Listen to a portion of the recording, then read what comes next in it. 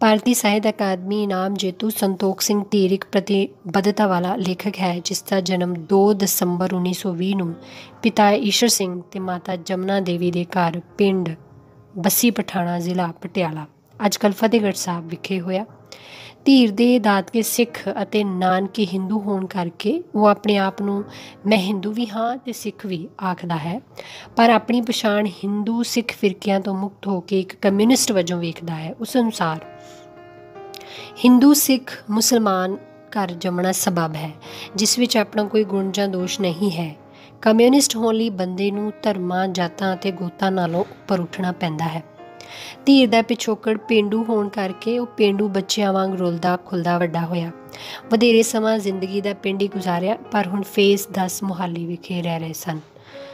ਪਹਿਲਾ ਪਿੰਡੂ ਹੋਣਾ, ਦੂਜਾ ਕਿਸ਼ਤਰੀਆਂ ਦੇ ਘਰ ਜੰਮਣਾ, ਤੀਜਾ ਵੱਡਾ ਅਤੇ ਘੱਟ ਆਮਦਨੀ ਵਾਲਾ ਪਰਿਵਾਰ ਹੋਣਾ ਅਜਿਹੇ ਕਾਰਨ ਸਨ ਜਿਨ੍ਹਾਂ ਸਦਕਾ ਧੀਰ ਨੂੰ ਜ਼ਿੰਦਗੀ ਵਿੱਚ ਪੈਸੇ, ਜਾਤ-ਪਾਤ ਤੇ ਕਿੱਤੇ ਵਿੱਚ ਔਂਕੜਾਂ ਕੁੜੱਤਣਾ ਭੋਗਣੀਆਂ ਪਈਆਂ।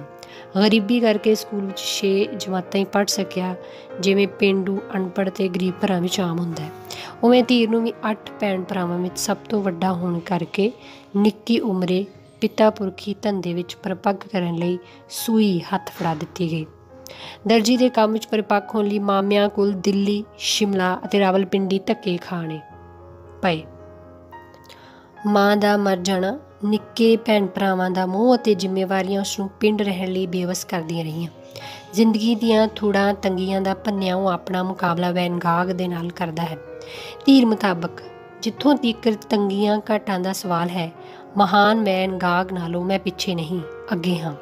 ਮਹਾਨ ਵੈਨਗਾਗ ਨਾਲੋਂ ਮੇਰੀ ਤੰਗੀ ਦਾ ਪੱਧਰ ਕਾਫੀ ਉੱਚਾ ਚਲਿਆ ਜਾਂਦਾ ਹੈ। ਉਸ ਦੀ ਤੰਗੀ ਯੂਰਪੀ ਹੈ, ਮੇਰੀ ਏਸ਼ੀਆਈ ਤੇ ਫਿਰ ਹਿੰਦੁਸਤਾਨੀ ਹੈ। ਧੀਰ ਅੰਦਰਲੀ ਇਸ ਸੁਤੰਤਰਤਾ ਦੀ ਤਾਂਗ ਨੇ ਉਸ ਨੂੰ ਇੱਕ ਲੇਖਕ ਬਣਨ ਲਈ ਪ੍ਰੇਰਿਤ ਕੀਤਾ ਹੈ। ਘੱਟ ਪੜਿਆ ਪਿੰਡੂ, ਪਛੜਿਆ, ਮਾੜਾ ਮਾਹੌਲ ਅਤੇ ਘਰੋਗੀ ਆਰਥਿਕ ਸੰਕਟਾਂ ਦੇ ਬਾਵਜੂਦ ਜੇਕਰ ਧੀਰ ਲੇਖਕ ਬਣਿਆ ਹੈ, ਤਾਂ ਇਸ ਦਾ ਕਾਰਨ ਉਸ ਦਾ ਜ਼ਿੰਦਗੀ ਬਾਰੇ ਸਪਸ਼ਟ ਨਜ਼ਰੀਆ ਹੈ। ਆਪਣਾ ਸਾਹਿਤਕ ਪਿਤਾ ਉਹ ਗੁਰਬਖਸ਼ ਸਿੰਘ ਪ੍ਰੀਤ ਲੜੀ ਨੂੰ ਮੰਨਦਾ ਹੈ, ਉਸ ਤੋਂ ਬਿਨਾ ਮੋਹਨ ਸਿੰਘ ਸੰਸਿਕ ਸੇਖੋਂ ਤੋਂ ਵੀ ਪ੍ਰਭਾਵਿਤ ਹੋਇਆ ਮੰਨਦਾ ਹੈ। ਉਹ ਇਹਨਾਂ ਦਾ ਪ੍ਰਭਾਵ ਤਾਂ ਕਬੂਲਦਾ ਹੈ, ਪਰ ਆਪਣੀ ਮੌਲਿਕ ਪਛਾਣ ਅਤੇ ਸ਼ੈਲੀ ਵੀ ਵਿਕਸਿਤ ਕਰ ਲੈਂਦਾ ਹੈ। ਇਸ ਸ਼ੈਲੀ ਦਾ ਵੱਡਾ ਪੱਖ ਉਸ ਦੀ ਕਮਿਊਨਿਸਟ ਪਾਰਟੀ ਦੇ ਨਾਲ ਸਾਂਝ ਅਤੇ ਲੋਕ ਪੱਖੀ ਅਗਾਹ ਵਧੂ ਵਿਚਾਰਧਾਰਾ ਸੀ। ਇਹ ਵਿਚਾਰਧਾਰਾ ਉਸ ਦੀਆਂ ਕਵਿਤਾਵਾਂ, ਕਹਾਣੀਆਂ, ਨਾਵਲਾਂ, ਲੇਖ, ਚਿੱਠੀਆਂ ਅਤੇ ਸਵੈ ਜੀਵਨੀ ਵਿੱਚ ਸਹਿਜੇ ਹੀ ਪ੍ਰਗਟ ਹੋ ਜਾਂਦੀਆਂ ਹਨ। ਸਿੱਟਿਆਂ ਦੀ ਛਾਂ ਸਵੇਰ ਹੋਣ ਤੱਕ ਸਾਂਝੀ ਕੰਧ, ਪੱਖੀ, ਇੱਕ ਕੁੱਤਾ ਤੇ ਮੈਂ ਆਦ ਉਸ ਦੇ ਕਹਾਣੀ ਸੰਗ੍ਰਹਿ ਹਨ। ਪੱਖੀ ਕਹਾਣੀ ਸੰਗ੍ਰਹਿ ਨੂੰ ਸਾਹਿਤ ਅਕਾਦਮੀ ਦਾ ਇਨਾਮ 1996 ਵਿੱਚ ਮਿਲਿਆ। ਸਾਂਝੀ ਕੰਧ ਸਵੇਰ ਹੋਣ ਤੱਕ ਕੋਈ ਇੱਕ ਸਵਾਰ ਧੀਰ ਦੀਆਂ ਸ੍ਰੇਸ਼ਟ ਕਹਾਣੀਆਂ ਹਨ, ਜਿਨ੍ਹਾਂ ਤੋਂ ਉਸ ਨੂੰ ਬਹੁਤ ਪ੍ਰਸਿੱਧੀ ਮਿਲੀ। ਮੇਰੀ ਕਲਮ ਜੋ ਕਿ ਇੱਕ ਸਾਹਿਤਿਕ ਸਵੈ ਜੀਵਨੀ ਹੈ, ਸ਼ਰਾਬੀ, ਯਾਦਗਾਰ, ਮੈਨੂੰ ਇੱਕ ਸੁਪਨਾ ਆਇਆ, ਹਿੰਦੁਸਤਾਨ ਹਮਾਰਾ ਅਤੇ ਨਵਾਂ ਜਨਮ ਉਸ ਦੇ ਨਾਵਲ ਹਨ।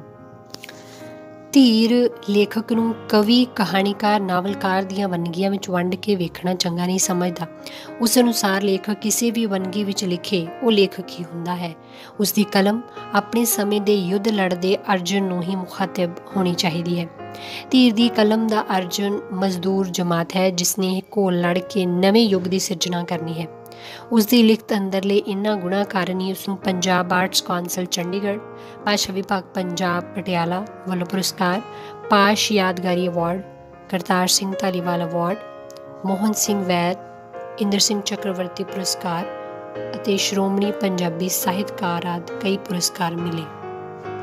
ਉਸ ਨੂੰ ਪੰਜਾਬੀ ਯੂਨੀਵਰਸਿਟੀ ਪਟਿਆਲਾ ਵੱਲੋਂ ਲਾਈਫ ਫੈਲੋਸ਼ਿਪ ਪੰਜਾਬੀ ਸਾਹਿਤ ਸਭਾ, ਨਵੀਂ ਦਿੱਲੀ ਤੋਂ ਫੈਲੋਸ਼ਿਪ ਮਿਲੀ ਹੋਈ ਸੀ। ਸੋ ਧੀਰ ਦੀ ਜ਼ਿੰਦਗੀ ਦਾ ਸਫ਼ਰ ਇੱਕ ਅਜਿਹੇ ਸਿਰੜੀ ਅਤੇ ਸੰਘਰਸ਼ੀਲ ਪਰ ਨਿਰਸਵਾਰਥ ਮਨੁੱਖ ਦਾ ਰਿਹਾ, ਜੋ ਰੰਗ, ਨਸਲ, ਧਰਮ, ਦੇਸ਼ ਨਾਲੋਂ ਮਨੁੱਖ ਹੋਣ ਵਿੱਚ ਮਾਣ ਮਹਿਸੂਸ ਕਰਦਾ ਹੈ। ਸੰਤੋਖ ਸਿੰਘ ਧੀਰ ਦਾ ਦੇਹਾਂਤ 8 ਮਾਰਚ 2010 ਨੂੰ ਹੋਇਆ।